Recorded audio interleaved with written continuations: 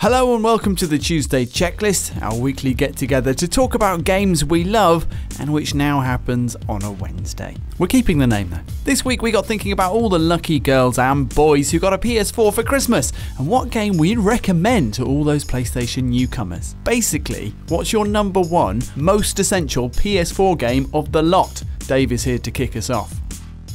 Well, friends, uh, hopefully you'll agree with me when I say we love this question. It's the sort of thing that will come up in the office every now and again. Suddenly, out of nowhere, we'll be like, Imagine if you just got a PS4 now! It would be amazing. All the incredible experiences that you've got uh, are waiting for you, just laid out. Just, but where do you start? Then it gets more difficult. Then we argue and we fight, and that's why uh, many members of PlayStation Access have been killed. Um, what? Dan, you know, yeah. Oh, sorry, Elle. Did we not explain? That's awkward. No, it's it's it's. I, I love the idea of someone just getting a PlayStation 4 now and having like all of this massive library of incredible games to choose from, but then I hate being asked to pick one game. And you know, really, you should tailor the game to the person, uh, not just say, you know, anyone out there. Um, you should play this game, except my game, which I think will satisfy almost any requirement. Horizon Zero Dawn, my first platinum. Yeah! Hooray! I thought you were going to say Rocket League, and I was like, is he saying Rocket League? My second platinum, Rosie. Thank you so much for bringing that up. Why? Uh, we won't talk about platinum number three. Um, I absolutely love Horizon Zero Dawn, and I do think that it just ticks so many boxes in terms of what you want to to show someone. Welcome to this new world of, of PS4 and just and just gaming. Just like, do you want a treat for your eyes? That's a big tick in a box. Do you want a massive open world to explore? Uh, and I personally love environmental storytelling. Big tick in a box right there. Do you want a story to get completely lost in and intrigued by and relationships to care about? Do you want uh, unrivaled just gameplay mechanics? I think the, the, the combat with the machines is so incredibly nuanced and clever and like something I'd never seen before. I remember, you know, seeing the, the, the initial uh, gameplay reveal at E3 where uh, Aloy took down, I think it's a, a Thunderjaw, and just you know when you see gameplay sometimes and you've just not never seen these mechanics before, so you're just like, well, how's that going to work? You know, she's she's shooting individual components off this giant machine, and it's just like, you know, previously you'd seen like bosses with maybe like three glowing components that you could remove. this is made up of like tens, maybe hundreds of components, all of which you can ind individually remove, and that have a kind of like gameplay like reaction like you know take you can take off its its weapons and use it against it i'm getting very bogged down in this one specific area. Uh, horizon zero dawn i just absolutely loved and i'm so glad that um, i was challenged by by my colleagues and friends to uh, Don't look at me when you say two different to get my first platinum because I um, I had only really scratched the surface when I stopped playing the first time because something else had come along that I'd, I'd started playing. Um, and there was so much more to do, so much more to explore, and getting the platinum was a real good reason to to to see everything. Or, and uh, to be honest, I haven't seen everything. I've seen as much as I, I, I can or could at that time, and I've still got the Frozen Wilds DLC to go. But um, I genuinely think there, I just think it's just such an amazing place to start. And if someone is, is picking up a PS4 for the first time, I think you'd be hard pushed to think of a better place to start them off than right there. So there you go, Horizon Zero Dawn. Get it played. I agree. if I could recommend just one game, it would be Grand Theft Auto 5. Oh, the twist! the twist! so I wanted to go Apex Legends because one, it's free, it's after Christmas, we've all got no money. I was like, uh, uh, you know, but I think you have to love uh, first-person shooters. So that was going to be my original recommendation. And then I thought, well, if you if you haven't decided what genre you love yet, like maybe if you're getting a PS4, this could be your first console. You could have not had a console for a very long time. Maybe this is, you know, kind of your reintroduction or very first introduction to the world of games. And Grand Theft Auto really is just every game ever rolled into one. you know, if you want to shoot a lot of people, you can definitely do that. But there's also, you know, there's uh, like melee combat. You can race cars. You can kind of do secret sniper missions, or you can do big blazing blow everything up missions if you're that kind of person. And I think it's just You can do taxi missions. you can be a psychopath if you so choose. Um, and I think for me, I'm obviously a big Grand Theft Auto fan. If I could have, I would have picked San Andreas, which you know you can get on a PS4. Just saying. But, um, but the thing about obviously the thing about Five is that not only is it everything you've come to expect from Grand Theft Auto, which is this huge world, these incredible characters that are always really funny. That's the thing I love about it is just the humour and the life that they put into that world, um, and just the really extensive range of missions you can do. So as I said, you can just there's a bit of everything, and you'll you know very quickly figure out what you like, what you don't like. But I think the, the thing about Five is that it has only grown since it came out. So it's now been out for years and years and years, like 2013, I think. So you know you think we'd be done with it now. You know we've got short attention spans on to the next but we're not. You know they've got this huge online community now. It's bigger than it's ever been before. Um, do be careful when you venture into online. Everybody's very good. Um, but it's, it just expands that world. So you, you're going to have a ridiculous amount of time just in the base game alone but then when you're done it's just not enough and so knowing that you then have this essentially endless world online to go into is absolutely incredible. And for me, the fact that it's still so, just as I said, bigger than ever is is unbelievable to me because it's it's the dream come true that you finish a game that you love, a world that you fell into and became a part of. Yes, I am a gangster. uh, and then you can just and then someone's like oh hey do you want to just play forever? And i'm like okay yes sign me up which i love. And then they're also rolling out new content all the time all the time. The heists are so much fun. Who doesn't love heists? And and so for me i think it, it would be the one game i recommend you. I genuinely think i could play just that for the rest of my life. That was a lie. But anyway.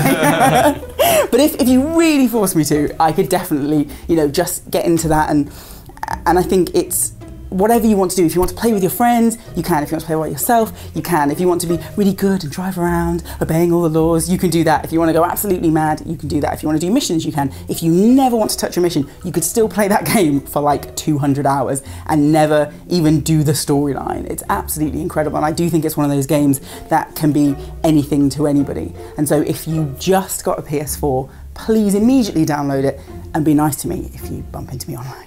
Thanks. So, if you've just got a PS4 for Christmas or your birthday, congratulations. Welcome to our lovely family. Um, Welcome to the a game, a game that I would. welcome you. Rob or Mr. Bean. a game that I would recommend to you, and I've gone slightly more left field here, but still with a game that I firmly believe everyone who plays will absolutely love, and that game is Persona 5. I say left field is one of the most critically acclaimed games ever released. Um, it's an absolutely outstanding game in just all departments. Um, it's a it's a Japanese role-playing game. If you're immediately thinking, "Oh no, I can't, I can't be doing the Japanese role-playing games," just just get rid of all preconceptions of what you think a Japanese role-playing game is, and just please, for the love of God, play Persona 5 because it's ridiculously good. Um, so the, the basic premise is you play as um, a school kid called Joker, that's like his nickname, um, who's relocated because he's wrongfully accused of assault. Um, so he gets kicked out of his school and placed in this other school. Um, and this school, or, or just the town or the area in which you're in in general, is, is sort of full of adults who are not particularly nice people. And the overall plot is the, of the game is you and a bunch of your friends who, who form this group called the Phantom Thieves, which is really cool. Anyway, um, your job is to, and this is sort of like the Matrix meets reverse Inception. Your job is to go into the metaverse, which is like a physical manifestation of humanity's subconscious, and to infiltrate the minds of these bad adults and steal their evil intentions, therefore rehabilitating them and, well, making them, you know, face up to the to the bad things they've done, basically, which is an outrageous premise. Um, and every every single time you do this, it's like a really big like set piece that's really built up and it feels incredible. It feels like the climax to a movie every time you're infiltrating the mind palace of one of these like horrible abusive adults. And it's done in such a way that's ridiculously cool. It's like playing a hyper stylized Inception movie. The soundtrack is absolutely incredible. It's one of the best soundtracks in any game ever. The art direction, again, I think is just peerless. It's just phenomenal. Everything you do in the game looks cool. Even going into the menu looks amazing. you go into the menu and there's an animation with Joker. He's just like like that. It's like menu. and you just go down the menu and each thing is like that's it. Oh. that. I could instead. just I could just play Persona 5's menu for hours and it would still be a 10 out of 10 game. That's how good it is. Um, and this is just the story bit of it. This is just the plot. Like outside of this, and this is where I think the game really shines, there's this whole sort of social simulation element to it where your job is to build up your relationships with the various people you interact with, so your school friends or other people you meet on the street. And as you increase your sort of um, rank with the with each of these people, that increases the power of your persona, which is like the thing you can summon in battle when, when you're in this metaverse place. And the more powerful your social links become, the more powerful you get in battle. And the battle system is it's a turn-based battle system but it's not like you know if you're thinking turn-based battle system oh sort of laborious i have to think and wait it's it oh it, it feels immediate and brilliant and fresh to do it's just for everyone i, I honestly think I, I don't think it's possible for anyone to play persona 5 and not think it's absolutely amazing it's genuinely that good a game even if you don't think japanese role-playing games are the type of game you would normally play please just just forget what you think you know about JRPGs and play Persona 5 because it is unbelievable. So, for those of you who have just got a PS4 uh, for Christmas, first of all, very lucky for you.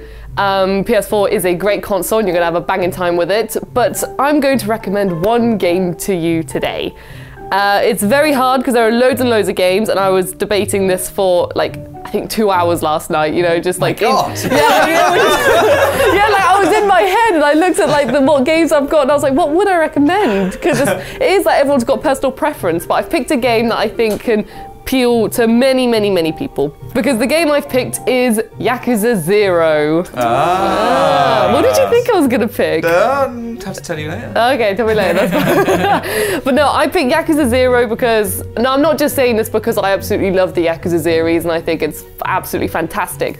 But much like Grand Theft Auto 5, it's got so many different things within it that I think can just appeal to everyone. I mean, I've only got into the series recently and I wish I got into it sooner, especially like um, if I just got a PS4 and if someone introduced me to Yakuza Zero, I would have been mind blown. It looks gorgeous with all the colours, the lighting, the, the way the characters are designed and how they look and everything. It's just a brilliant game. Hours and hours worth of gameplay. Um, like there's so many side stories, mini games, uh, things you can upgrade your combat with and spend money. The fact you can just throw money around is brilliant. I mean, there's nothing better. Yeah, you can. Like literally, if there's a horde of enemies coming at you and you'll kill you, you can just throw money and then they stop and then they're like, oh, money, and they all just pick it up. And it's brilliant. it does, and it's great. You feel like such a power overlord, and you've got um, a really enticing story with it as well, coming from two different characters from different angles, um, and also within their two like little worlds because you sort of swap between the two. There's there are both so many different things you can do in them. For example, Kiryu is very much focused on. It's going to sound really bland, but real estate. Um, because I remember, I remember. I got the game for you, I just started downloading it. Well, I thought the same at first. I remember my friend played it. He was like, oh, I'm just doing real estate, but he didn't explain to me what it was. But it's actually a money f- party. It's a parade of just getting millions and millions and millions of Rosie, yen. you're still just describing real estate. I know. But it's like then you have money battles, you have to purchase properties, and then if there's like let's you've got like a king of a certain area, you have to beat them up because they're like, oh no, my thugs are gonna ruin your property. So you're like, no, they're not. So you beat them up, and then you get a fan of money, and you're just like, yeah, I just defeated you. and then Where's you've the got, game? and it's just I'm only summarizing a small portion of because you've got this is on the side. You've got the sub stories, then you've got the main big plot in general, and just oh, it's just such a big game, and you can just dive into hours and hours and hours of it, and even karaoke. I mean, do I need to say anything more? just do it for the karaoke, if anything, and and then you got the UFO catchers, and oh, it just appeals to so many different things. You can go to the arcade, play some retro arcade games as well. It's just oh, it's just such a big, gorgeous, bloomin' marvelous world. And I can't recommend it enough because honestly, I think there is something for everyone. And even if you wouldn't think you're into something, it just has a twist on it that you're like, wow, this is awesome. I'm earning big yen from this. it's just crazy. Big, yeah. big yen. but That's yeah. your new middle name. Rosie Big Yen Caddick. Put on my Twitter name. but yeah, honestly, Yakuza Zero, fantastic game, and if you've just got a PS4, you can get it for a really, really good price, and it's a PlayStation hit for a reason. So, smashing game, get on that. It's brilliant. Can we get you doing the menu animation at the camera?